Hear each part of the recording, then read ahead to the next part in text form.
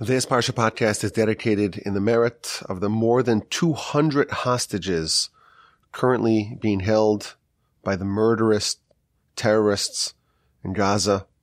We pray for their safety. We pray for their health. We pray for their swift return to their families and their homes. Earlier today, I was watching Israeli television online and I heard something really beautiful and powerful one of the panelists was saying that on Shabbos he was in shul in Jerusalem, and when they read from the Torah, of course, they offer the Mishaberach, the blessing, and they insisted to mention all the names, more than 200 names of all their, of all the hostages, the names of the hostages themselves and their mothers. And I thought this was a very beautiful gesture you know, which you get a bit calloused. There's so many people that were hurt, so many people that government were killed, so many people that were taken captive. And it becomes almost not a story of individuals, but just this, this big glob of pain and tragedy. And I think it's a powerful statement to remember that these are all our brothers and sisters, and each one of them is, is precious. Each soul is worth the entire world. If it was just one we should turn over the entire world to get them back. And now that there are so many, we have to realize it's really, each one is its, a tragedy on its own. And of course, we hope and we pray that they return safely and speedily, and we hear only good news from our brethren in Israel. In this Parsha podcast, we will have, please God, three segments. This is year eight of the Parsha podcast, and I'm really enjoying it. In the past couple of years. I think it's been five, six years that we have a new theme each year.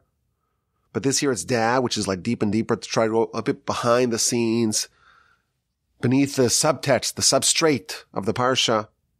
And I'm liking it so much. I, I, don't know. I don't know if I could come up with another theme next year that will top the one of this year. It's so wonderful. It's so delightful and it's so enjoyable. And I, w- I will tell you that the last segment that we're going to cover today, please God, it's an idea that's been in my notes for more than a year. I've been saving it for today, for this Parsha podcast, Parshas Chayei Sarah, year eight of the Parsha podcast. It's so delightful. It's so deep. It's so wonderful. I'm excited to share, but let's begin with a warm up, a warm up segment. There's a wonderful and mystifying midrash at the very beginning of our Parsha. Of course, the Parsha starts off with the death of Sarah. Sarah gets the news that Abraham is about to sacrifice Isaac. It wasn't presented to her in a way that she could be calmed, that he's okay. And she dies. And she dies at the age of 127. That number appears only one other place in scripture. In the beginning of the book of Esther, of course, that tells the Purim story. It tells us that King Achashverosh, who would go on to marry Esther, he ruled over 127 countries. So to us, this is totally random, you know, 127, the age of Sarah when she died, 127, the number of countries that Achashverosh, soon to marry Esther, ruled over. To us, it's totally random, totally coincidental. The Midrash says something amazing. And, and the context of the Midrash is also kind of interesting. It tells us that the great Rabbi Akiva, he was giving a lecture. And the crowd was getting a bit sleepy and they were starting to nod off. Think about this. This is the lecture of the great Rabbi Akiva. Really all of our Torah Shabbat, the, the oral Torah really comes via Rabbi Akiva and his students. And he's giving a lecture. What would we not give up to once participate in Rabbi Akiva's lecture? Of course, the Talmud tells us that Moshe, 1400 years before Rabbi Akiva, he was able to witness prophetically the lecture of the great Rabbi Akiva. And he was so amazed and so wowed that he thought it would be fitting and appropriate that the Torah be given not via Moshe, but via Rabbi Akiva. Rabbi Akiva, our sages tell us, he really serves as almost the Moshe of the oral Torah. And he's giving a lecture And people are nodding off. People are dozing off in the lecture. And he wants to jar them awake. He wants to awaken them. He wants to arouse them. He wants to pique their interest. So he says that Esther and her ruling over with her husband Achashverosh over 127 countries, that is connected to Sarah, who lived 127 years. What does he say? Why was Esther meritorious to rule over 127 countries? Why is that fitting? Because Esther, she is the descendant of Sarah. And Sarah lived for 127 meritorious years. And in the merit of the 127 years of Sarah, her descendant, her great great great granddaughter Esther, she ruled over 127 countries. Thus concludes this most interesting and mysterious midrash. A lecture hall. The great Rabbi T was giving a lecture and the crowd is maybe snoozing. If you've ever spoken to a, to an audience in the past, you have a very keen sense of who's paying careful attention, who's listening intently, and who is spacing out. The audience doesn't know that the speaker could see exactly who's on their phone and who's chatting and who's really listening carefully and who's engaged. Rabbi Akiva senses that the, the audience is maybe they're, they're dozing off a bit. Now, to uh, their defense, the Talmud talks about the lectures of the great sages of that era. They would lecture so extensively. This was not the, you know, 45 minute lecture or even an hour or even three hours.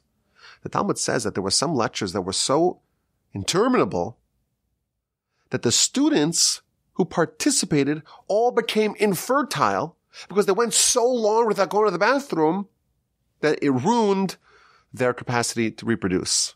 And obviously it's a terrible thing. But it gives us a sense of the length of these lectures.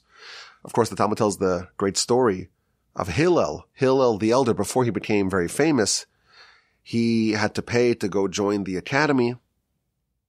And one day he didn't make enough money from wood chopping to join the academy. So he climbed onto the roof and was listening to the lecture via the skylight the whole night. And in the morning, they noticed the, the figure, the silhouette of Hillel, and he was almost dead and that they, that to revive him. So we know that, and this was Friday night, the Talmud also says.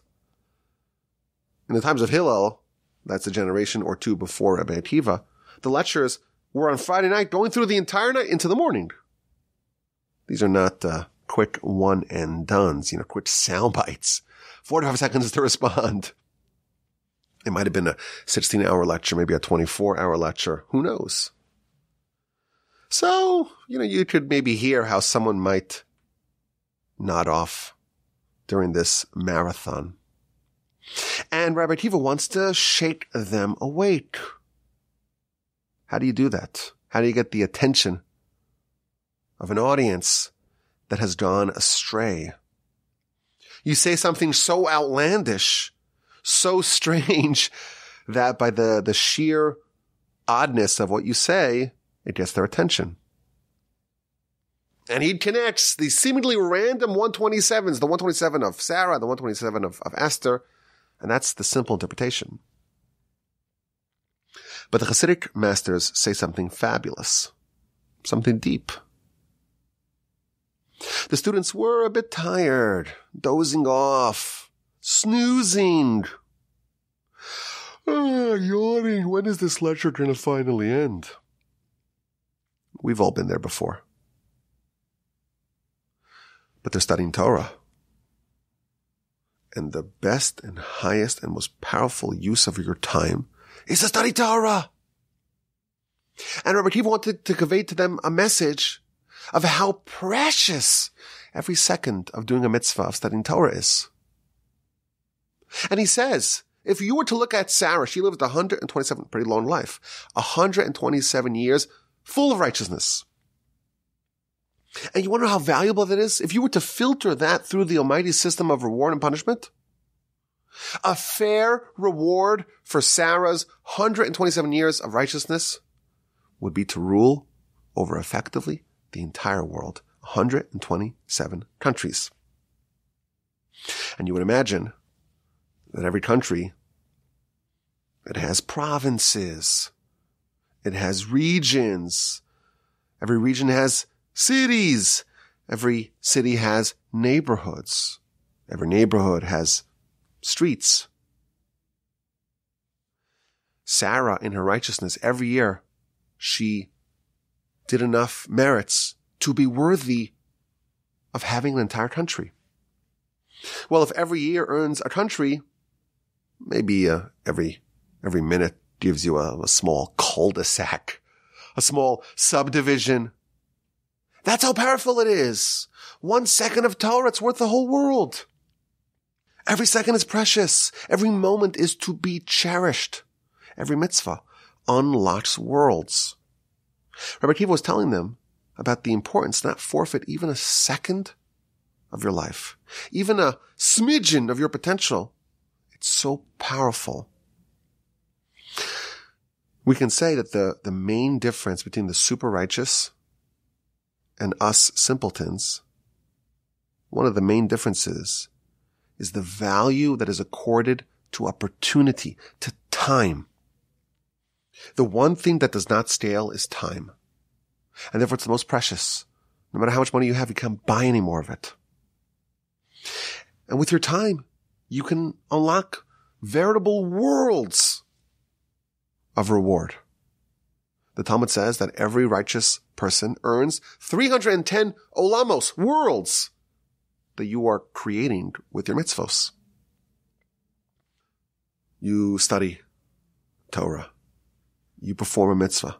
You're creating an angel. You're creating a spiritual world. And when you die, the world that you are transitioned to, that's the world that you created with your mitzvos. 127 years effectively mean 127 countries. That is the size of the spiritual world, so to speak, that Sarah created. And every second, it's so powerful. The opportunity is so great. Don't miss out on opportunity. Don't sleep.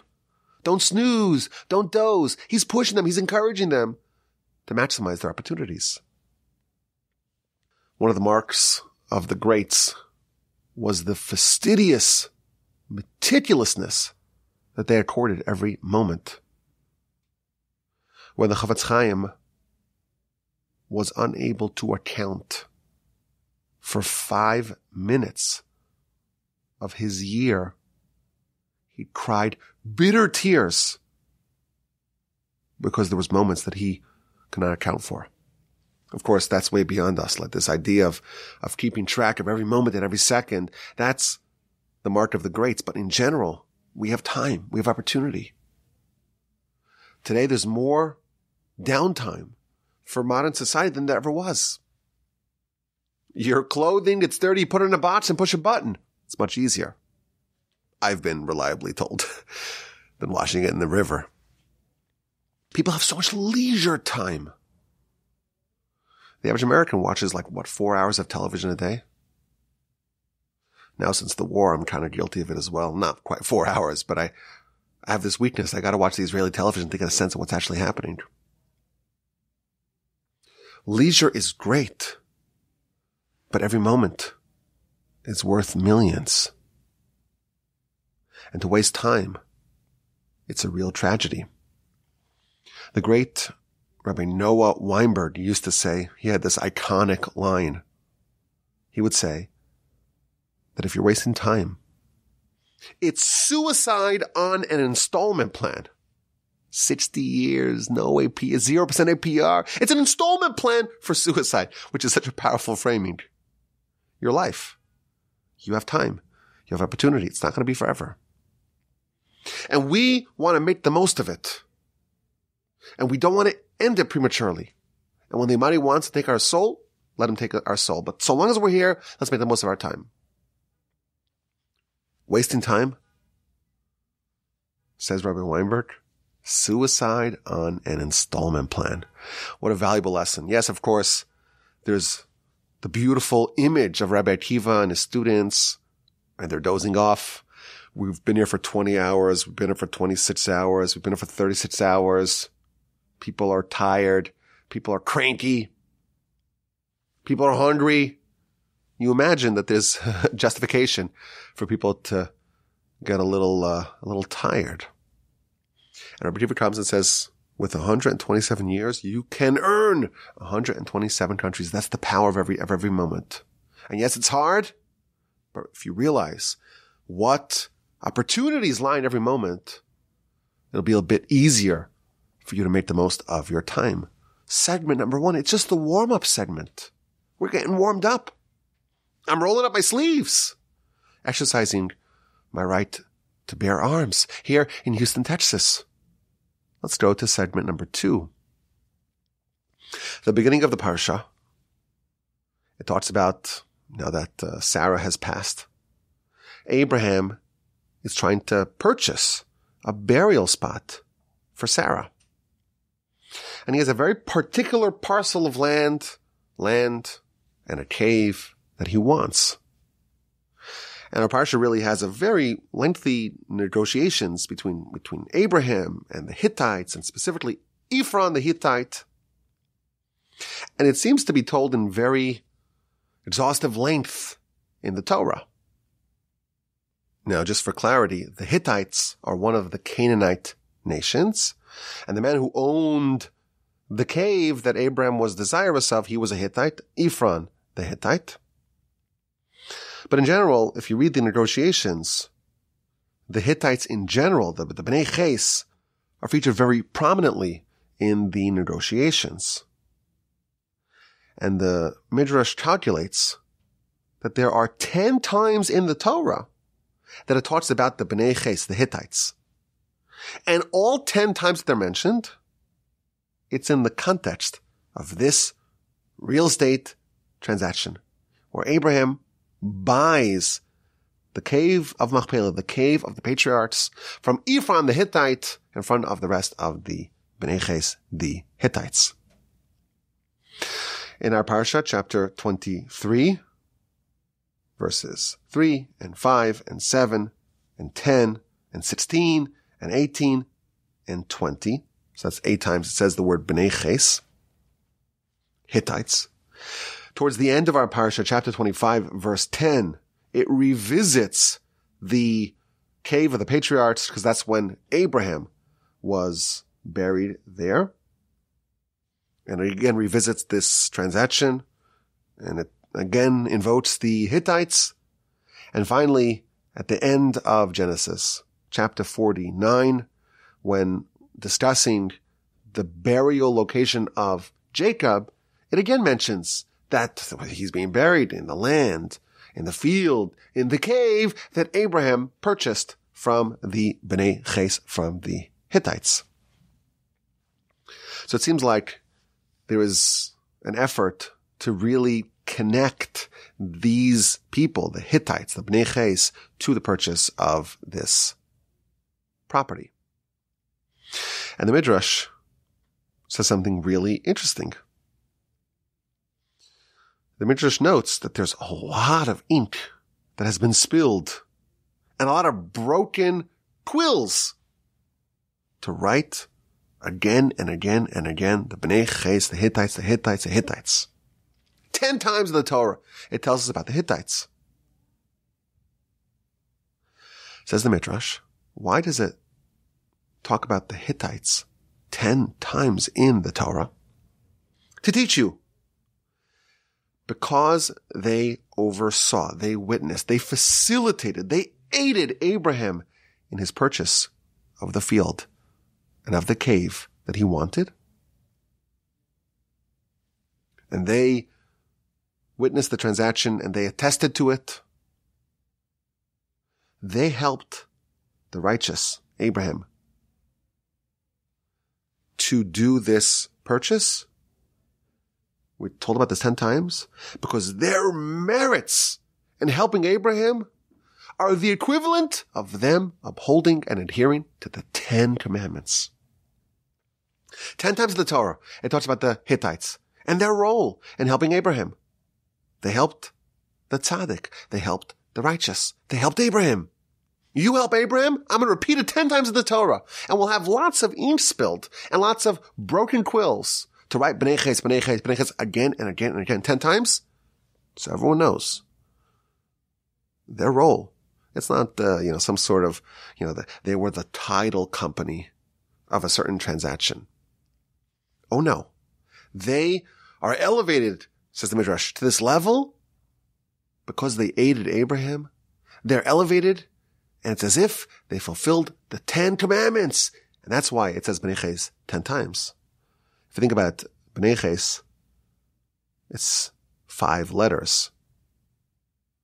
Times ten, it's 50 letters in the Torah. There are entire books of Talmud that are based on fewer than 50 letters in the Torah. And you think about how many millions of Torah scrolls were written throughout history.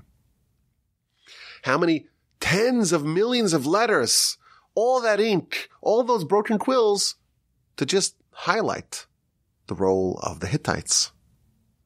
And why? Because they helped Abraham. And it says it 10 times because helping Abraham is so powerful, it's so impactful. It's like they upheld the 10 commandments. Now the Baal HaTurim, in his comment to the beginning of our parsha, he adds another wrinkle to this idea. The Hittites are called the Bnei Ches or Bnei Ches in the Torah. The word Ches, it's actually the name of one of the letters in the Hebrew alphabet. Aleph, Bet, Gimel, Daled, Hey, Vav, Zayin, Chet or Ches. Number eight. Says the uh, Baal if you look at the Ten Commandments in Exodus chapter 20, how many times does this letter, the letter Chet for the Hittites, B'nai Ches, how many times does this letter appear in the Ten Commandments? Exactly 10 times. Once for each instance that the Hittites are mentioned in the Torah. The Hittites, they help Abraham. And therefore 10 times we revisit their role.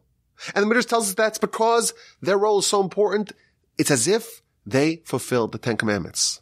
And their name is B'nai Ches, which is the letter. And that letter appears 10 times in the Ten Commandments, once for each instance that the Hittites are lauded for their role in helping facilitate this transaction in the Torah. This is something obviously very powerful and very deep and counterintuitive. If we were to look at this transaction happening between, between Abraham and the Hittites and specifically Ephron the Hittite, none of us would think much about the role of the people there to help facilitate this transaction. They're very desirous of Abraham buying this property and everyone wants to help him. It's a nice thing. Our sages are telling us that to help Abraham, that's not just a nice thing. It's like you fulfill the Ten Commandments. The Ten Commandments that the Almighty gave our nation at Sinai, the, the bedrock, the foundation, the condensed digest of all of the will of Hashem. That's how powerful it is. And we'll repeat it ten times so you know, and we'll write the letter Ches in the Ten Commandments ten times so you know. These Hittites, they have eternal merit for helping Abraham. This to me is a very powerful insight. And the truth is, in many places in the writings of our sages, we find this idea about how valuable it is, how powerful it is to help the righteous, to help the Torah scholar. The Talmud, and I collected a few of these citations for you. The Talmud in the book of Brachos on page 10b tells us, if you host a Torah scholar in your home, and you made sure that they are benefiting from your possessions. It's as if you have brought a tamid sacrifice. The tamid sacrifice, which is the, the most basic sacrifice brought in the temple every single day. That is the one sacrifice that's like the, the prayer, the daily prayer featured in the temple. Today we cannot offer sacrifices, but you just host the righteous in your home. And you make sure they benefit from your things. That is equivalent, says the Talmud, Brachos 10b, to offering a sacrifice. Second citation in the Talmud from the book of Ksubas on page 111b. Someone who marries off their daughter to the righteous. Someone who does business with the righteous. Someone who made sure that the righteous benefit from their possessions. Someone like that, it's as if they are cleaving, so to speak, to the Almighty. Of course, we cannot cleave literally to God, but the verse tells us that we should cleave to the Almighty by helping those who represent God in the world in a variety of ways. You marry your daughter off to them. You do business with them. You make sure that they benefit from your possessions. It's as if you have fulfilled this idea of cleaving to God. Yoma 71a. You want to bring a sacrifice. You want to bring a wine libation. You can't do it today. We don't have a temple. If you fill the mouth of the righteous with wine, it's the same thing as pouring the wine upon the foundation of the altar in fulfillment of a wine libation. There's something very powerful about being there to aid, to assist, to contribute towards the agenda of a Torah scholar. You assist them in any way, that is very powerful. These Hittites, I, didn't even notice it. It's like you read it, okay, the Hittites, the Hittites again and again and again. And you count it 10 times in Genesis. The Hittites. Just by helping Abraham. Just by helping facilitate his desire to get this parcel of land, they earn eternal merit. And it's like they have fulfilled the Ten Commandments. Let us never underestimate the power of helping the righteous. And now for segment number three. This is what I've been saving from last year. If you read the narrative of Abraham's negotiations with the Hittites and Abraham's negotiations with Ephron the Hittite, it seems a bit uh, repetitive. So it tells us, of course, that Sarah died and Abraham eulogized her and cried over her. And then verse three, Abraham wants to find a burial spot. And he approaches the Hittites. And he gives them a whole speech. I'm a sojourner here, or I could be a resident. Give me a place to bury my dead, and let me bury my dead. And they respond, listen, you're our master, you're, you're a prince amongst us. Wherever you want to bury your dead, you could bury your dead. No one's going to withhold from you their land from burying your dead. And Abram's very appreciative. And then again he responds, if you are desirous to help me bury my dead, listen to me and select Ephron and let Ephron give me the Ma'aras Machpelah, the Machpelah cave. I'll pay full money. I want to have this as a burial spot. And Ephron responds, says, no, I charge you money. No, no, no. Uh, let me give it to you for free. So you should bury your dead. And Abraham's appreciative. But he says, no, no, no. I want to pay. Take the money and let me bury my dead. And Ephron responds, okay, well, if that's what you want, 400 silver coins, that's uh, between me and you. What is it? Go bury your dead. And indeed, Abraham proceeds to give him the money and to bury Sarah. There's a transaction here. Abraham has his deceased wife that he wants to bury. And he wants to buy a burial spot, a specific one. Of course, the reason why Abraham wanted this specific spot, it's a very special spot, as we shall see. We've talked about this in the past. But why does he want to purchase this? We know because he wants to bury Sarah there. If you read the narrative, it mentions again and again and again the fact that Abraham wants to bury his dead there. And that's the nature, that's the objective of this transaction. In verse 4, Abraham says, Ve'ekbara mesi, let me bury my dead. In verse 6, it says twice, they respond, Kvar es mesecha, bury your dead. And no one will stop you from mikvar mesecha, from burying your dead. And then in verse 8, Likvar es mesi, I want to bury my dead. And then in verse 11, Kvar mesecha, bury your dead. And then in verse 13, Ve'ekbar es mesin, I will bury my dead. And then again in verse 15, Ve'es mescha, kvar, and you're dead. You should bury. It seems a bit redundant. Certainly, if we were writing this, we would be a bit more brief in the words that we use. He could have shaved off a few instances of repeating, ah, Abraham was to bury dead, bury dead, bury dead, bury dead. Take the dead and bury them. And of course, the Torah never says anything extraneous. So why is it belaboring this point? Why is it repeating it again and again that the objective of this purchase is to bury Abraham's dead? Question number one. Question number two. If you examine the seven instances where it repeats that the objective of this purchase is to bury the dead, in six of them, it says the word bury before the word dead. The first six, Abram says, Ve'ekbara, let me bury, see my dead. Kivar es mesecha, bury your dead. Mikvar mesecha, from burying your dead. So the word bury comes before dead. Verse 8, Ligbar es mesi, to bury my dead. Verse 11, Kvar mesecha, bury your dead. Verse 13, Ve'ekbara, let me bury, es mesi, my dead. The first six, you'll notice, it has the word bury before the word dead. And then in verse 15, it suddenly switches. Ves mescha, and you're dead, kvar, bury. So why is there a change? The first sixth time it says bury, the word bury um, first, kvar, and then the word dead, mes, mesecha. And then the last time, the seventh of seven times that it mentions that the objective of this transaction is to bury the dead, it says, Ves mescha kavar, it says the word dead, and only then does it say bury. And of course the question is why?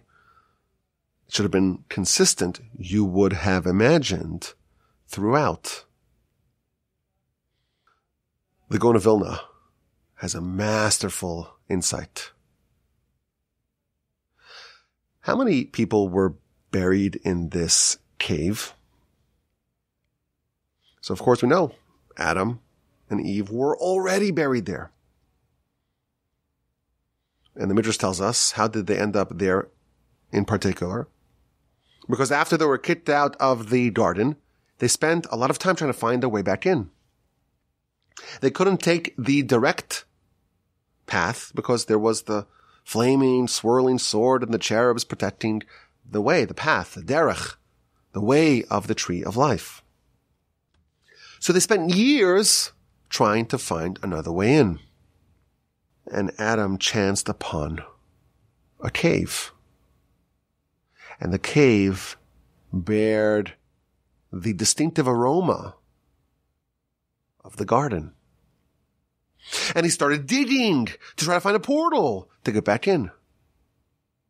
And he dug until he heard a voice. The voice, the heavenly voice, the prophetic voice said to him, stop! You may dig no longer. If this midrash sounds familiar, I did cite it at the very beginning, the introduction of my book, not the one I'm writing now, but the one that I wrote and published last year upon a 10 stringed harp. Adam had found one of the portals, one of the entrances back into the garden. And when he got close, he was stopped. But he remembered this cave. And when Eve died, he buried her there. And when he died, his son Seth buried him in the same cave. And Abraham also chanced upon this cave. Midrash tells us that when the three guests came to visit it, visit him, they were really angels masquerading as guests. The verse says, Ve'el ha-bakar ratz. Abraham ran after the bakar. So the Midrash tells us the word bakar is the same letters as kever, which means a, a grave site. Abraham chased the cow all the way to the grave site. and he walks into the cave and he sees the candle is lit and he sees Adam and Eve there. Now, mind you, no one else could see that. Only Abraham, who had the spiritual vision, he knew how special this place was. Ephron and the rest of the Hittites, they saw nothing remarkable about this cave. But Abraham wanted this cave in particular, and that's why he wanted it. And he goes to Ephron and the Hittites and he says, I want to buy this cave. And indeed, the transaction was consummated. How many people were subsequently buried in this cave? So Sarah was buried here. Abraham is buried here. Later on in the Torah, we read about how Rebecca and Isaac were buried. So that's Sarah's one, Abraham's two, Rebecca's three, Isaac is four. Leah is five. Jacob is six. Of course, Rachel was not buried there. She was buried in Bethlehem on the way back entering the land. But there was actually a seventh person who was buried there. Sort of. The Talmud tells us that when Jacob was being buried, and they went with this whole long procession from Egypt to bury Jacob. They arrived at the cave and there was someone there blockading the entrance to the cave. Esav. And Esav said, there's only one more place here to be buried and it's mine. Because you already buried your wife there. And Jacob's descendants protested, wait, a minute, Jacob bought that spot from you. He made a big pile of all his gold and all his silver, all the money that he earned outside the land of Israel, and he gave it to you in exchange for your spot. And he says, ah, I don't remember that. Where's the documentation? Documentation, we left it in Egypt. So they quickly dispatched Naphtali to go back to Egypt. He was the fastest one go back and reclaim it. And meanwhile, everyone's milling about. Everyone's waiting for something to happen because they cannot bury Jacob because Esav is stopping them. One of the people that was there is the deaf grandson of Jacob, Hushim, the son of Dan, of Dan. And he was a little out of it because he's deaf. And uh, he communicates with someone, what's going on? Why aren't they burying Jacob. It's a great disgrace to the dead that he's just being held in limbo. So they communicated to him. Maybe they used hand motions. Oh, that, that man, that burly, hairy, redhead, ruddy man, Uncle Esav. he's stopping it. He's stopping it. He grabs his sword, runs over to Esav, slices off his head, decapitates him, and they bury Jacob what happened to Esav's head. It rolled into the cave, we're told. And Esav was also buried in the cave, not his whole body, only his head. And in the past, we've mentioned that that, that tells us that Esav, he was really worthy of being buried alongside the other patriarchs, but only if you look at his head. If you look at the rest of the body, it didn't really filter down to the rest of the body. But there were seven people that were ultimately buried. Again, six. Abraham, Sarah, Isaac, Rebekah, Jacob, and Leah, and the head of Esav. Our narrative is talking about the purchase of this burial spot. And seven times it says, again and again and again, that the purpose of this purchase was for burying the dead. Why? Because there are seven people destined to be buried there. And with the first six, they were all righteous.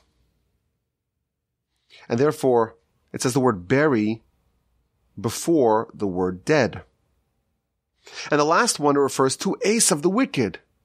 For him, the proper order is dead and then buried. Says the Gaon of Vilna. He quotes the Talmud. The Talmud says, that the righteous, when they are dead, they are still alive. They're deemed alive. The wicked, even when they're alive, they're deemed dead. So Esav, he was wicked. Even in his lifetime, he was deemed dead. So for him, he was dead long before he even died. He, he's been dead for a long time. He's dead first and then they bury him. The righteous, even after they die, they're alive. So they're actually buried before they die. Because they're alive, the soul is still alive. And therefore the way the Torah views them, they're still alive and they're being buried. So they're all, oh, the, the word bury, the word kavar must precede the word for, for death. They're not dead. They're alive. And yes, they're being buried. They're being buried first and then, and then, and then there's the word dead. The righteous, when they're dead, they're alive. And that's why the word bury appears before the word dead. No, even the righteous. Even the righteous will die. A second before the resurrection, the Talmud tells us, a moment, a smidgen before the resurrection, the righteous die and right away are brought back alive. There is a benefit of dying. It helps cleanse a person of the sin of Adam. Once Adam sinned, death is beneficial for humanity. And that's why Adam was not allowed to eat from the tree of life. Because then he'll never die and therefore he'll never be cleansed from the contaminants and the toxins that are in his body as a result of the sin. So even the righteous will benefit from dying, but they're not dead yet. They're alive now. yes, they're buried. they're buried and they will die in the future a second before the resurrection, the Talmud tells us. A moment before, just to glean the benefits of death, and right away they will be brought back to life. And therefore, it says seven times the objective of this purchase. The first six, for the first six people to be buried there, the righteous ones, it says the word bury before dead. The last one, Esav, he's been long dead, way before he's buried. And that's why the proper order Ve'esmeischa kavar, and your dead one, i.e., Esav, who's will be who'll be dead before he's buried. For him, it is proper to have the word dead before the word bury. I love this piece. Of course, there's a lot of powerful lessons here, but I love it because it's a sophisticated way of reading the parsha. We just assume, oh, it talks about all the Hittites and it just says Hittites, Hittites, Hittites again and again. Oh, and it happens to be repeating again and again and again the fact that the objective of this purchase is for the burial of the dead. And the commentaries, they bring us a little bit uh, beneath the surface, behind the veneer, inside, inside the hidden inner sanctums of the Torah. And they reveal to us how every single letter, every single word is absolutely bursting with meaning and with value. I mentioned at the top of the podcast that one of the Israeli panelists, they went to shul and they, they did a mishaberach for every single, every single one of the hostages. Not just a general, you know, a, a general term, release the hostages, every single one. I thought it would be fitting maybe that we mention their names as well here as a form of prayer and a form of dedication to help achieve their safety and their swift release with the help of the Almighty. I decided to wait to the end because most, most, many, I don't know, some people have a hard time listening to all of this. So if you're not interested in hearing me read the names or the names that I have, I found online a list of all the names or as many as we could have. I want to read the names and we're going to dedicate our, our study today in the merit of these people. Okay, let's begin. Um, some of the names, we have the names of them and their parents or the father or the mother. I'm just going to read what I have over here. I don't, I don't know. I don't know if this is updated, if it includes everyone. It's hundreds and hundreds of names. Let's begin. Okay. The first one is Agam Berger and then Agam Batchen, Adar bat Daniela, Ehud ben Esther, Ehud ben Karen, Ophir ben Rishel, Ophir ben Sharon, Ofek ben Eti, Or ben Avi, Or ben Sima, Or El ben Merav, Ori bat Enav, Uriel bat Naami, Uriah ben Hagar, Uriah bat Chani, Osher ben Rachel, Iti ben Merit, Iti Chen, Noah bat Adi, Iti Regev, Etan Avraham ben Ephrat, Etan ben Batsheva, Etan ben Chadit, Ala ben Ma'ayan, bat Ma'ayan, Ala bat Ma'ayan, there's two of them apparently. Alon ben Idit, Eliah, Eliyahu ben Odel, Eliah ben Odiel, Eliah ben Batsheva, Eliah ben Sigal, Eliyahu ben Chana, Eliakim Shlomo ben Avishag, Eliasha ben Ludmila, Alex ben Otsena, Alma Or, Almog Meir ben Orit, Elad ben Chana, Elkana ben Ruchama, Amma bat Sharon, Amma Konio, Amelia bat Daniel, Amitai ben Chafsi, Erez ben Hadas, Ariel ben Shiri, Artor, Aaron ben Mina, Ben ben Zahava, Ben ben Nerit, Ben ben Sion ben Mazal,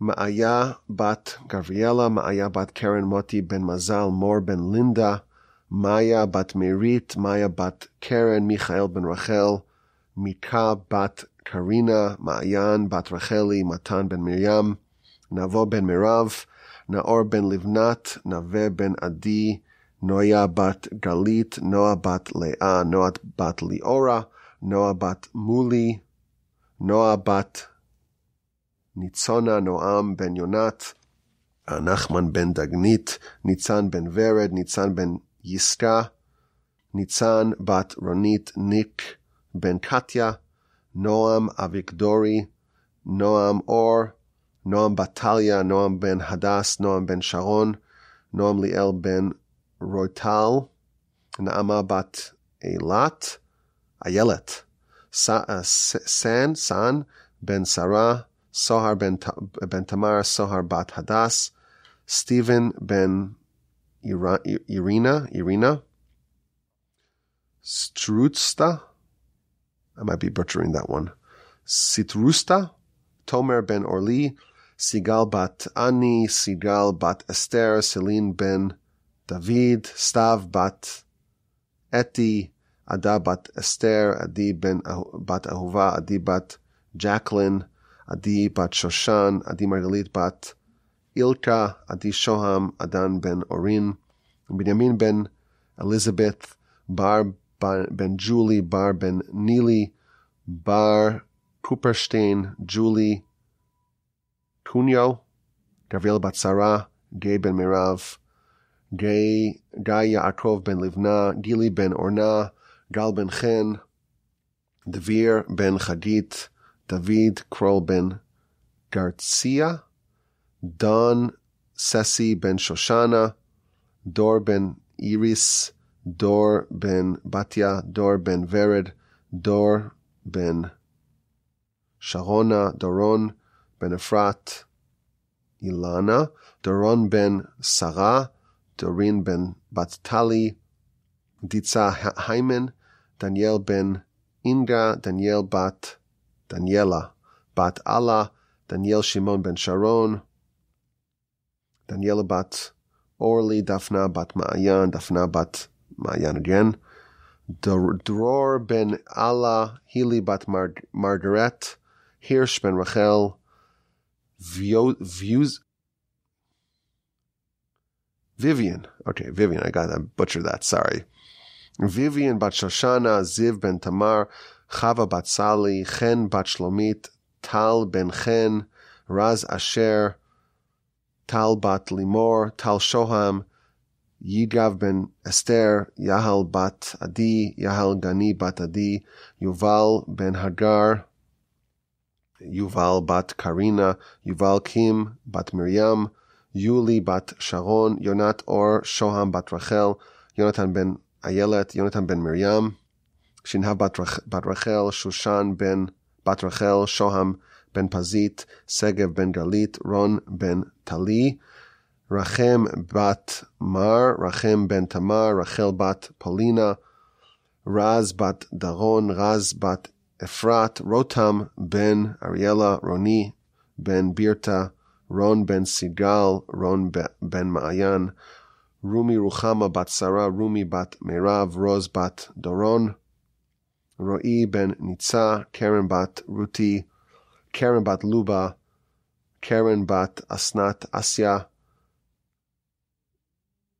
Sheli Yitzchak ben Merav, Ofri bat Hagar, Anbar bat Yifat, Amit bat Miriam, Amit bat Donna, Amit ben Limor, Amit Esther, Chaya bat Eliana, Amiram Cooper, Alma bat Yonat, Alyana bat Yugnia, Einav ben Penina, Edan ben Tamar, Edan ben Dalit, Ido ben Kochava, Omri ben Ra'aya, Omri ben, ben Chadit, Omer Shemtov, Omer ben, ben Sheli, Omer ben Niva, Omer ben Asnat, Oded ben Bilha, Idan bat Shirit, Idan bat Aliza, Yonatan Chai ben Linda, Yosef ben Esther, Yoram ben, uh, ben Miriam, Yiftach bat ben Shoshana, Yitzchak ben Tzipora, Yishai ben Talia, Kfir ben Shiri, Carmela Dan, Carmela Dan, Lotan ben, Na- ben Naami, Lior ben Michael, Lial ben Liel ben Nerdit, Shiri Zilberman Babias, Bibias, Sheker bat Bela, Sharon Avigdori, Aloni Konyo, Sharon ben Limor, Sharon bat Metuka, Sharon bat Ruti, Tair bat Adna, Tomer ben Sigal, Tamar bat Yaira, Karina Ariev, and I don't know if I'm mispronouncing this. The last one here is Awatsuriyasari. Okay, I don't know if I'm mispronouncing that. We're praying for all these hostages. Every single one of them is precious. Every single one of them is worth the entire world.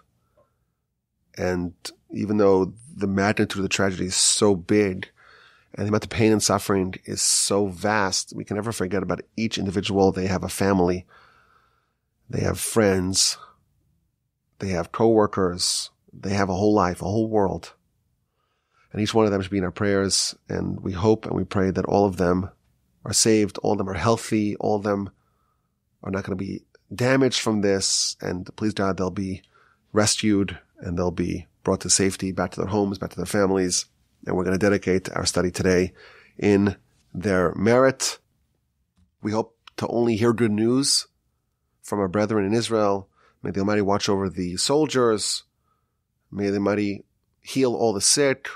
May the Almighty comfort all the bereaved. And we're going to hopefully do our part to study, to pray, to invest in the spiritual dimension of the war as well as the physical and material and financial dimensions of it. May we only hear good news from, from Israel and from the rest of our brethren. Of course, my email address is rabbiwolbe.gmail.com. I look forward to your questions, your comments, and your feedback. Have a wonderful day, a splendid week, and a fantastic Shabbos upcoming. And please God, with the help of the Almighty, we will talk again next week.